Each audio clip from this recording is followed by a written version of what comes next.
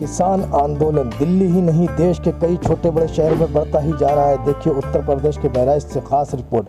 भारतीय किसान यूनियन जनशक्ति, जनपद बहराइच के जिला अध्यक्ष धर्मचंद्र महेश के नेतृत्व में कैसरगंज टोल प्लाजा पर धरना प्रदर्शन करते हुए पदाधिकारी कार्यकर्ता टोल फ्री करने के संबंध में धरना प्रदर्शन। बहराइच से प्रदीप कुमार शर्मा की खास रिपोर्ट।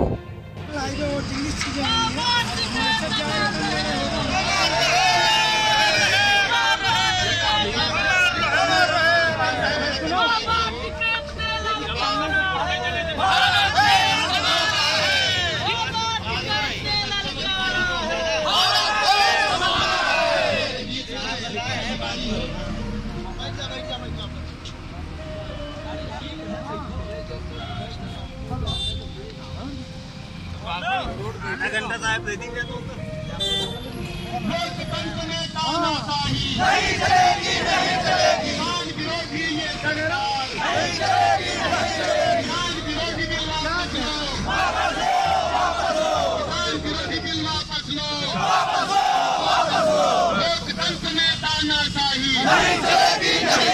लोकतंत्र में तानाशाही नहीं चलेगी। नहीं चलेगी सभी कार्यकर्ता आराम से बैठ जाएँ देखिए,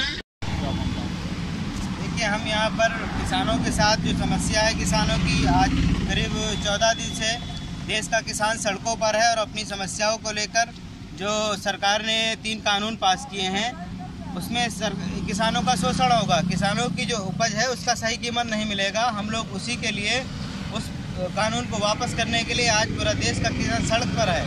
इस संबंध में भी हम भी भारतीय किसान यूनियन जनशक्ति के प्रदेश महासचिव हैं और आज कैसरगंज टोल प्लाजा पर टोल प्लाजा को माफ़ करने के लिए और पूरे देश के किसानों को टोल प्लाजा न लिया जाए, इस मांग को लेकर के माननीय राष्ट्रपति महोदय के संबंध में हम यहाँ पे आए हैं ज्ञापन देने के लिए उप जिलाधिकारी कैसरगंज।